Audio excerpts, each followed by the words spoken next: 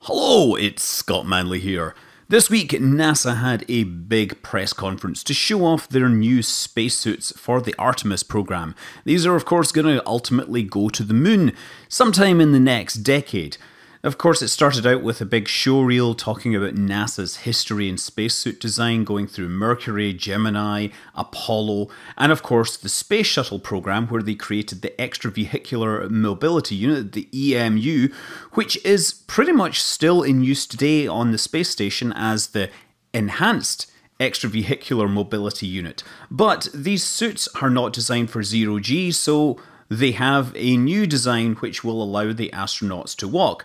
This is the Exploration Extravehicular Mobility Unit, and it's obviously being demonstrated by one of the engineers that worked on the project. Right away, a lot of people are saying, man, that is ugly. Those red and blue stripes make it look like some sort of Russian spacesuit. And okay, I, I, fully expect that these uh, stripes, these colors might disappear because one of the big technical challenges with spacesuits is keeping the astronaut cool, and anything that isn't white or silver is going to absorb more heat. The other suit they introduced was the new Orion Crew Survival suit, which is a much closer uh, next generation version of the survival suit used in the space shuttle, the right, the Advanced Crew Escape suit. So since this is actually closest in ancestry to its previous generation, let's say, um, I'm going to talk about it first. It is obviously, it looks quite similar. It's the same international orange color because this is a suit that's designed to be worn inside the spacecraft and during recovery. If this crew have to abandon ship after landing, then you know it will make them easier to find. That's what the color is all about. But it is a pressure suit. It's just not a pressure suit that's designed to be worn on an EVA. It doesn't have the same mobility. It doesn't have all the extra joints. It's got many more soft parts to it, and when it gets inflated, the soft parts actually become hard and rigid because of the, the pressure inside. There, there are a few changes though to this. It, it's a little more mobile than the previous generation. Apparently, in a nod to uh, current you know, user interfaces, the gloves now work with touch screens. Now, while this is only supposed to be used inside the spacecraft, it does have to act as an emergency device and it has to be able to get the astronauts home. And that was fine when the astronauts were in low Earth orbit, but if they're potentially going to the moon and have a big hole in the, their ship, they might have to spend several days in this suit. So they've been spending time making sure that they can survive in this suit for like a week. It certainly won't be comfortable or pretty, but it will be better than dying. So anyway, back to the main suit. Yeah, it looks a bit darky, but it is actually, you know, there's a good technical reason behind many of these things. First of all, the position of the arms, it looks like they're leaning forward, but the reason for this is that the joints in these spacesuits these days, they're all circular bearings, they're, so they can only rotate in one axis. And what you have here is by moving these bearings forwards, it actually gives them much greater range of motion. If you look back at the Apollo suits, you'll see that the majority of the joints are bellows type joints where you have a you know a fabric coating and it's just held in place by wires and that's supposed to minimize the amount of force needed but you still need to apply a reasonable amount of force to actually move these joints around the EMU pretty much eliminated that type of joint. It's just circular joints. So you have uh, two on each arm for one at the shoulder and one near the um, elbow. And then, of course, you have the wrist.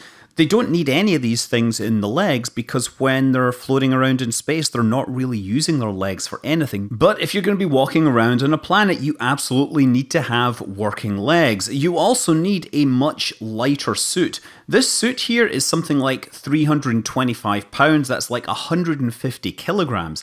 And while the force of gravity on the moon is a whole lot lower than on the Earth, it's still not fun to carry around that much extra inertia. So by angling these joints in the shoulder forwards, it actually gives them a significant more range of movement. Now, it should also be pointed out that the upper arm assemblies are actually quite wide, and the arm doesn't go in there snugly like it would into an outfit. You know, it's actually, they've got a whole lot of room in there to move their arm around.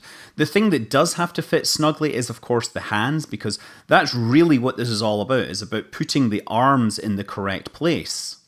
The one place where we do see a non-rotating joint are in the knees so that they can, of course, do these uh, you know squats on stage, which I'm going to say must be really hard given how heavy this suit is.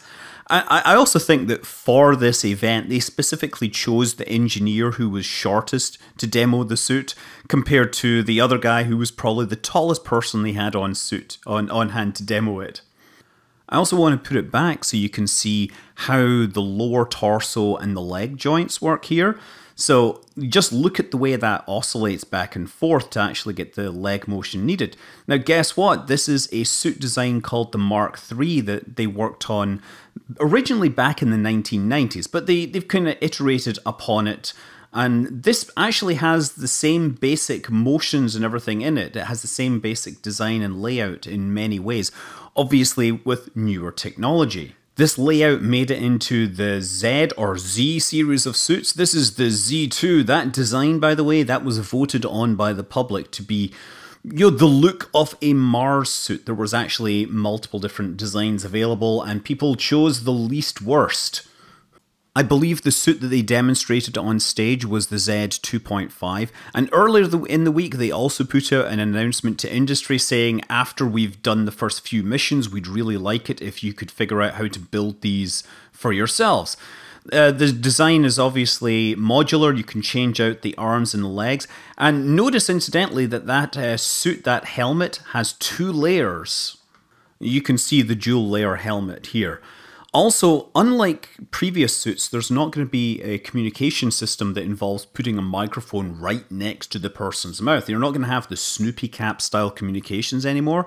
I mean, she has this, little wire in her ears, so I think just so that she can talk and hear what people are saying. But the design is supposed to have multiple microphones and speakers in the helmet. We can do this these days with commodity hardware, so it doesn't make any sense to have these these special communication headsets inside inside the suit is just an extra piece of tech that we don't need these days. The unit on the front is supposed to also display the suit status and everything. That they would really like to replace with some sort of heads up display inside the helmet. It's not clear that that's actually going to happen, but you know, that's the kind of thing that they're looking at. That outer dome, by the way, is also missing all the uh, shades and the visors that the regular the helmet is supposed to have. This is clearly just set up as a stand-in, and somebody will have to develop that at some point. But just watching the demonstrations on stage, it's very clear that they have gone and tackled the most difficult problems, that is, getting the greatest range of motion available in a pressure suit. And it's definitely a step above what they had in Apollo or what they have in the space station. Uh, the tests actually were, or the demonstrations were all carried out with the suit under pressure, although it's not clear what level of pressure they used. Part of the project is aiming for what's called a zero pre-breathe suit. That's where the suit pressure is high enough that they don't have to worry about decompression sickness when they start wearing the suit or when they go on EVA. To achieve that, the suit pressure has to be about 55% of atmospheric pressure as opposed to the 30% of atmospheric pressure that's used in the EMU. And having the higher pressure means that many of these uh, joints can be harder to move. The environmental control system in the suit will also allow them to change the pressure by quite a large range, so they could start out an EVA at a higher pressure and then reduce it as their body purges out that excess nitrogen. The life support system is also highly modernized. For the carbon dioxide scrubbers, they're no longer using, you know, the disposable lithium hydroxide canisters. Instead, they use something called a swing bed scrubbing system, where you have a particle bed. It's an amine that will absorb carbon dioxide and water, but then when you expose it to a vacuum, it will lose it. So you have two of these, one of which is performing the scrubbing on the air, and the other one which is exposed to the vacuum. And when there one is saturated, you flip them around, and the one that is now saturated is losing its carbon dioxide. So the life support system can keep running as long as they have water and oxygen. That big pack, by the way, that is how they get into the suit. It's a big door and they just kind of climb down and put their hands in through the arm slots and put their feet straight down. And then someone behind them closes that suit pack back up. You can actually see it better in this other suit that was developed round about the same time. This is the PXS developed by Oceaneering. And again, they climb in through the back and, uh, you know, they're just sitting in the suit. This is very similar to the Russian Orlan design. The cool thing here is that they've been trying to develop a system where that is actually your airlock. So the suit just kind of hangs out the back of the rover. And then when you want to get into it, you open a door, climb into the suit, close the door, and you just unhook yourself and you're walking around. And that's great for the moon. It's great for Mars because all that dust gets everywhere. While the suit port was demonstrated on the Z1, they have apparently removed it from requirements because they want to expedite development as much as possible and it wasn't seen to be needed for the first Artemis missions. So the plan is that they will have suits that will go to the ISS for testing, but those won't be the final suits because they are going to have to harden them against the dust environment. These bearings will have to be covered, they will have to be insulated and protected to make sure that nothing gets inside them to damage them. The suits will have to be tailored for the environment. So, even after they've figured out how to do this on the moon, if they want to go to Mars, they're going to have to do another iteration on the design because, hey, the gravity on Mars is a bit heavier and Mars just has a little bit of an atmosphere, but that's enough to mess up the standard cooling system, so they would have to probably redesign the cooling system a bit to make sure the astronauts don't boil in the glorious heat of a frozen Martian midday. So while I don't think this is by any means the final final version, I think it's great that NASA are taking concrete steps to replace their fleet of EMUs, which are definitely showing their age, uh, to the extent that spacewalks are having to be changed because of lack of hardware. It'll be great if these get to the moon. I think it's going to be a fine successor to the Apollo suits.